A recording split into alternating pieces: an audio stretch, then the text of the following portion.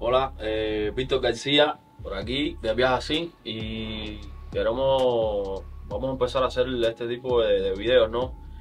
Eh, yo creo que van a ser bastante divertidos, pero vamos a traer también temas serios, así que vamos a, vamos a ver qué sucede, ¿no?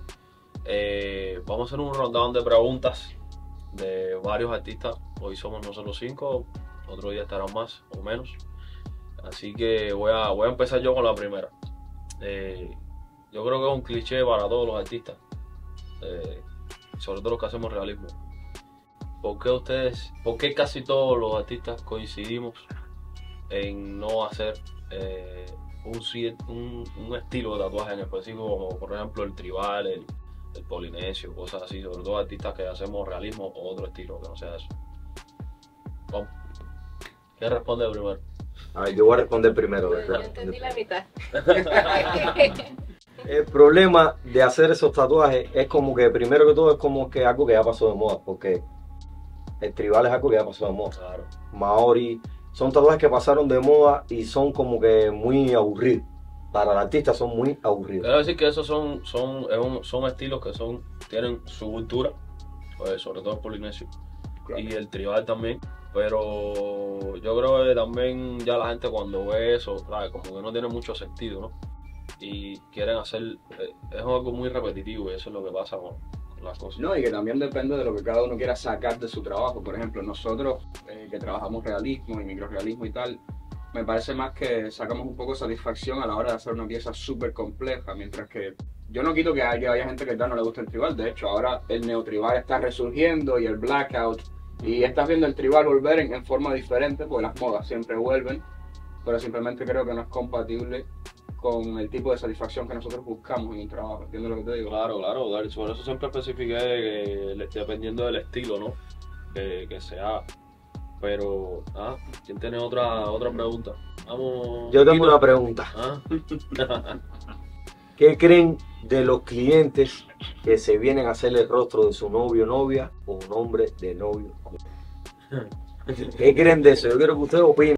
Ustedes son artistas y que opinen Yo sobre voy a dar mi opinión y le voy a dar un consejo al mismo tiempo a, a todos los que se lo hacen. Háganselo. Ah. Miren, a todos nos ha pasado, sobre todo los que hacemos realismo, sobre, sobre eso. Y yo creo que lo primero que tienen que hacer es de que nadie, yo veo el tatuaje como es algo permanente, eh, algo muy simbólico en el sentido de que es algo que va a durar para toda la vida. Lo único que nos vamos a llevar nosotros para la tumba son los tatuajes. Es lo único que nos vamos a llevar. Entonces yo creo que aparte de eso, tu cuerpo es como un templo. Entonces, yo creo que tú para hacerte un tatuaje deberías quizás no analizar tanto, pero tener algo estético que te guste, ya sea por estética o por símbolo. Y analizar si tú, si esa persona de verdad merece eh, que tú lo tengas en la piel. Por ejemplo, yo María, a mis hijos, a mi padre, no sé, que se quiera hacer su mamá o cosas así. Pero pensarlo bien, eso no, a lo mejor duran toda la vida y a lo mejor mm, en dos días terminan, ¿me entiendes? Nadie sabe lo y qué vas a hacer después con eso. Siempre hay solución, siempre está el láser, o se maquilla, o se le pone cosas, pero no hay necesidad de hacerse eso, ¿me entiendes? Y los que se quieren cubrir el tatuaje así rápido, o sea, recién. No, existe también. Yo creo que a Enzo le pasó algo parecido. Y a Hermes, que al día, al día. el mismo día cuando el tipo ya regresó, que ya la mujer lo había dejado y se había hecho la cara a la mujer, ¿me entiendes? Entonces esas cosas suceden.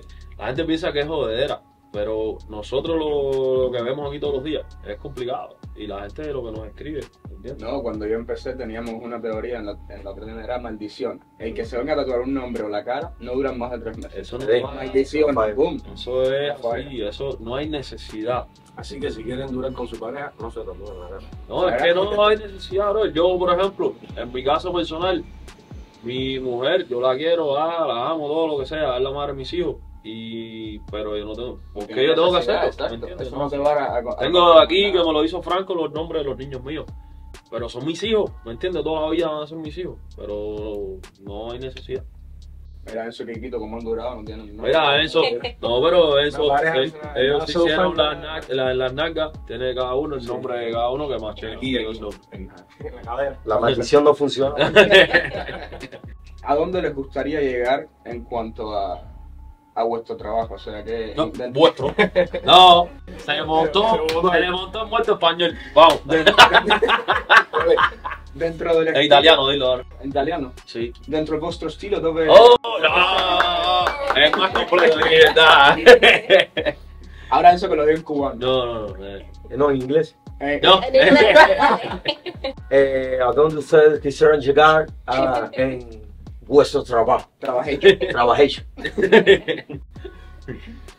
Eh, no. Elizabeth, habla que está muda ahí. Bueno, dentro de mi trabajo quisiera llegar al nivel que estás tú en, No, que digo que es. Sí, siento que eres como Todos nos faltan para- mucho. Está verificado. Sí, sí.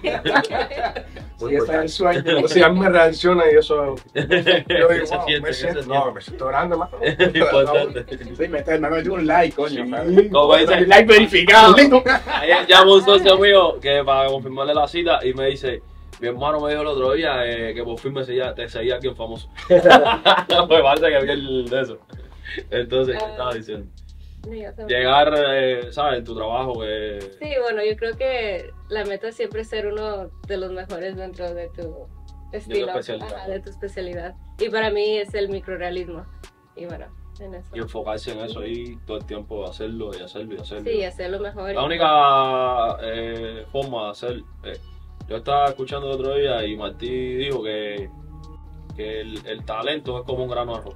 Es lo mismo. Todo eso viene natural. Eh, tiene el mismo valor que un grano de arroz. Lo, lo verdad que importa es la constancia y, y trabajar duro y fuerte. Eso es lo que hace. Si, tú puedes tener mucho talento, pero si tú no lo, eje- no lo, no lo ejerces, no vas a hacer nada. Eso es algo que yo vi mucho en la escuela de arte. El talento quiere decir que tienes una predisposición, como que lo disfrutas Sí, más para- y a lo mejor lo aprendes un poco más rápido. Pero para aprenderlo te tienes que sentar a estudiarlo. Tienes que, y a lo mejor alguien que trabaja el doble que tú y le pone más ímpetu, no tiene tanto talento, que va a pasar. Va a llegar más lejos. Va a llegar Claro. mucho más lejos. Es como dicen, hard work beats talent. Siempre. Yeah. Every time.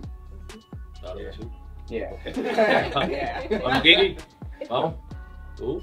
Eh, yo. Sí. Ahora de ahí. No.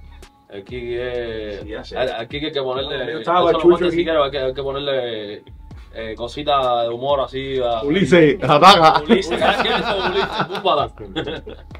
¿Cómo te sientes y qué beneficio eh, tienes cuando tatúas a alguien famoso, sabes? A- Aparte de ti. Vale, venga.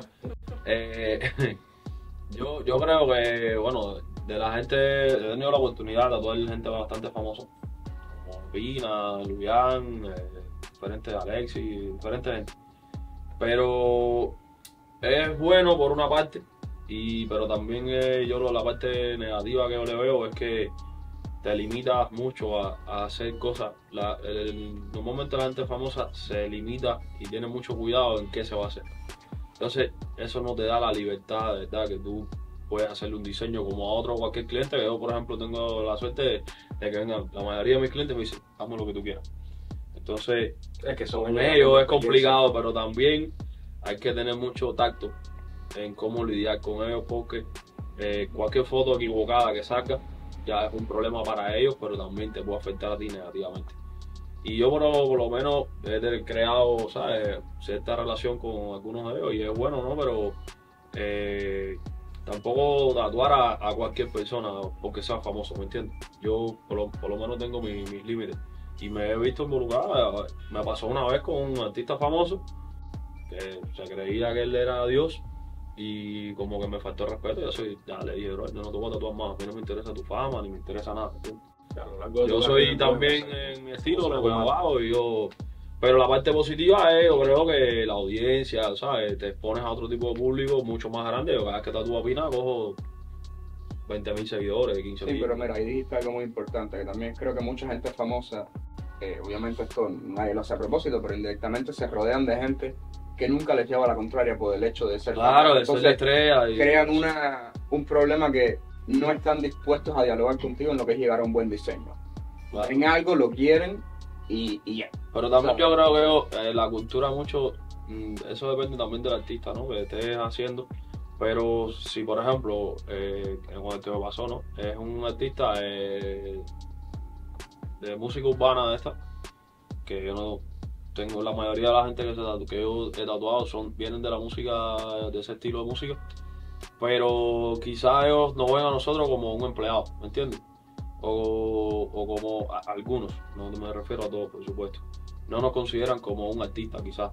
Y ellos no se dan cuenta que al final su imagen, que va a estar duradera toda la vida, tiene que verse un buen trabajo. No por nosotros, sino que por ellos mismos. Si se hace un tatuaje mal, ya tienen un tatuaje mal en su. Se van a tirar fotos, van a salir en un videoclip, van a hacer lo que sea. Se ve mal. ¿Cuántos futbolistas tienen buenos tatuajes? No, eso es lo que pasa también. Exacto. Ahora mismo, por ejemplo, los raperos que se están tatuando mucho la cara y cosas así.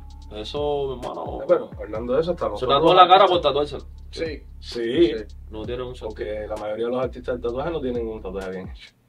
Sí, pero ¿qué pasa? Mucho- Ahí es diferente porque, por ejemplo, yo tengo una pila de cosas que están, aparte sin terminar, que están mal hechas.